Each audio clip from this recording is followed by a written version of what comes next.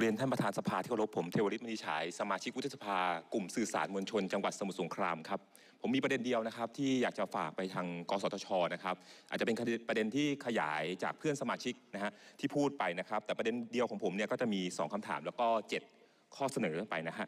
ประเด็นเรื่องเกี่ยวกับการควบรวมธุรกิจโทรคมนาคมฮะหรือเรียกอันนี้อันเรียกซอฟต์ๆนะฮะหรือเรียกจากตรงไปตรงมาก็คือการทำให้ธุรกิจ คมนาคมมีผู้เล่นน้อยราย หรือผูกขาดก็ว่าได้นะฮะประเด็นนี้นะฮะมันส่งผลกระทบอย่างไรนะฮะมันส่งผลกระทบตั้งแต่ทางกสทชเองเนี่ยตอนที่มีมติเองเนี่ยก็ออกมาตรการเงื่อนไขเฉพาะไปเรียบร้อยแล้วนะฮะว่าป้องกันนะครับแปลว่าเขาเขาก็กังวลอยู่แล้วครับว่าจะผลผลกระทบ และผลกระทบนี้นะฮะก็ดำเนินดำเนินมาจริง ๆ ด้วยนะครับ เพราะว่าถ้าไปดูรายงานของสภาพัฒน์ เมื่อวันที่ 4 มีนาคมที่ผ่านมาเนี่ยที่ออกมาเนี่ยก็รายงานภาวะสังคมไทยนะฮะไตรมาสที่4ทับ2566 แล้วก็ภาพรวมปี 2566 โดยประเด็นสำคัญก็คือเรื่องของการคุ้มครองผู้บริโภค พบว่าผลกระทบจากการ ผู้ผลกระทบที่ผู้บริโภคนะฮะได้รับผลกระทบเนี่ยหลังจากควบรวมกิจการโทรคมนาคมนะฮะประกอบไปด้วยเรื่องของการราคาบริการรายเดือนของโทรโทรศัพท์มือถือนะฮะปรับตัวเพิ่มขึ้นนะฮะแล้วก็บางโปรโมชั่นเนี่ยฮะมีการลดนาทีค่าโทรลงนะครับรวมไปถึงผู้บริโภคประสบปัญหาด้านคุณภาพสัญญาณ แล้วก็โดยเฉพาะเรื่องปัญหาสัญญาณอินเทอร์เน็ต ผมคิดว่าผมคงมีหลักฐานพยานนะฮะพยานเยอะแยะนะฮะเพราะว่า ถ้าอันนี้ถ่ายทอดสดไปด้วยนะฮะผู้บริโภคทุกท่านที่ดูอยู่ก็รู้อยู่แล้วว่าในกับเงินในกระเป๋าเขาต้องจ่ายไปกับอะไรนะฮะรวมไปถึงช่วงฟุตบอลนะก็ได้รับผลกระทบกันทั่วหน้านะครับแฟนบอลก็โอดโอยกันนะครับ ผมมีประเด็น 2คำถามนะฮะผมเข้าใจว่าทางท่านกรรมการด้านคุ้มครองบริโภคนะครับของกตปนะครับได้พูดไปบ้างนะครับ แต่อยากได้ยินจากปากของท่านกสทชด้วยนะครับ ประเด็นคำถามนะฮะที่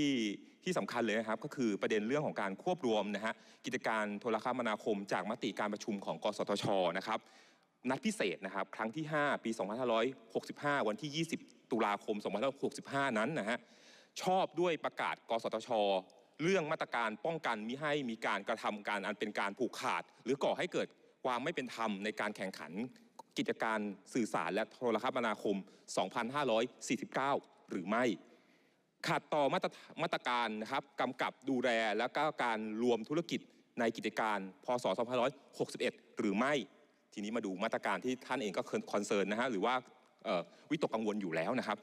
ได้กำกับดูแลนะครับประเด็นข้อที่2นะฮะได้กำกับดูแลให้มีการดำเนินการตามมาตรการเงื่อนไขเฉพาะนะฮะที่ว่านั้นนะฮะอย่างมีประสิทธิภาพหรือไม่นะฮะโดยเฉพาะมาตรการกำกับดูแลผลกระทบต่อผู้บริโภคนะฮะไม่ว่าจะเป็นเรื่องของปัญหาการผลักภาระให้กับผู้บริโภค ปัญหาการปกปิดบิดปิดบังโปรโมชั่น ราคาต่ำนะฮะ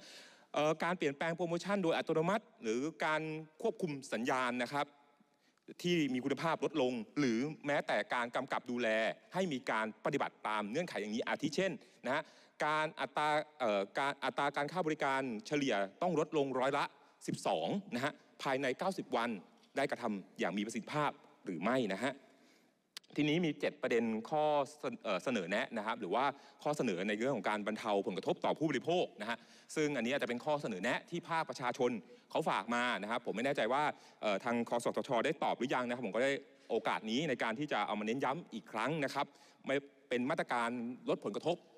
จากการควบรวมหรือการผูกขาดในกิจการโทรคมนาคมนะฮะทั้งระยะสั้นและระยะยาวนะครับหนึ่งดำเนินการตรวจสอบนะฮะ กำหนดอัตราค่าบริการนะฮะทั้งการปรับลดค่าบริการพื้นฐานนะฮะแล้วก็มาตรการที่กำหนดทั้งการลดค่าอินเทอร์เน็ต แล้วก็ค่าโทรศัพท์ เพื่อคุ้มครอง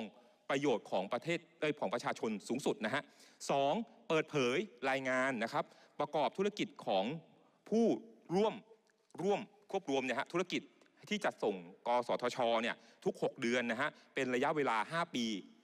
ทางช่องทางนะครับ โดยเฉพาะช่องทางสื่อออนไลน์ด้วยนะฮะให้ประชาชนได้ทราบนะครับ 3. ขอให้สำรวจความเสียหายที่เกิดขึ้นกับผู้บริโภคอย่างเป็นระบบนะฮะไม่ว่าจะเป็นการถูกเปลี่ยนแพ็กเกจบ้าง โดยไม่ได้รับการอนุญาตบ้าง หรือให้เร่งรัด ผู้ให้บริการต้องลดอัตราค่าบริการเหลือร้อยเออเหลือเฉลี่ยลดลงร้อยละ 12 นะครับ แล้วก็4นะครับขอให้เร่งรัดนะครับดำเนินการให้มีการเปิดเผยนะฮะรายรายการส่งเสริมการ ขายในราคาต่ำเป็นพิเศษสำหรับผู้ที่มีรายได้น้อย แล้วก็ผู้ด้อยโอกาสทางสังคมด้วยนะครับ แล้วก็ข้อ5นะครับขอให้ติดตามตรวจสอบนะฮะคุณภาพและมาตรการ